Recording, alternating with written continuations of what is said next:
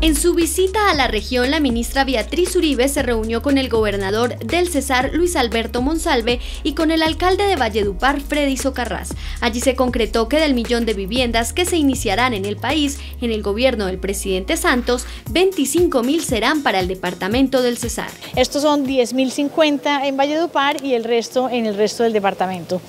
En diferentes modalidades, construcción en sitio propio, mejoramiento integral de barrios, mejoramiento de vivienda y reubicación. Y allí, por supuesto, tiene gran importancia para el gobierno nacional las familias en situación de desplazamiento. El señor gobernador y el señor alcalde nos han presentado unos programas muy completos en esa materia que serán radicados en próximos días para el estudio del Ministerio de Vivienda. El gobernador manifestó su interés en concretar lo antes posible los proyectos para que con las 25 mil viviendas se les dé una solución definitiva a muchas familias vulnerables que hay en el departamento.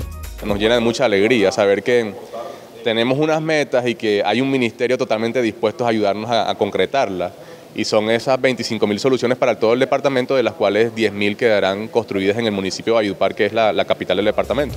Los operadores de los proyectos de vivienda a financiar con recursos de la nación deberán ser seleccionados con el máximo rigor para evitar que se sigan presentando incumplimientos. El mensaje a los alcaldes es que nos den una mano y nos ayuden, nosotros no podemos sancionar y castigar a las familias pobres puede no ser responsabilidad de ellos, sino de mandatarios anteriores, pero que nos ayuden para que se les responda a las familias con lo que a las familias les corresponde en pleno derecho, es decir, que tengan una vivienda digna que ya fue financiada por el Estado. Frente al tema de agua potable y saneamiento básico, se concretó el apoyo del Gobierno Nacional para aprovechar que en Valledupar se creará un sistema masivo de transporte que requerirá abrir calles para optimizar las redes de alcantarillado. El Ministerio de Vivienda hará todos los esfuerzos para que en el marco del nuevo sistema nacional de regalías y ojalá podamos poner recursos propios del gobierno nacional, para lo cual tenemos voluntad, se pueda marcar una diferencia en la historia de la ciudad con un sistema optimizado de agua potable y saneamiento básico. Para las obras de alcantarillado y una planta de tratamiento en Valledupar se requerirá una inversión superior a los 100 mil millones de pesos.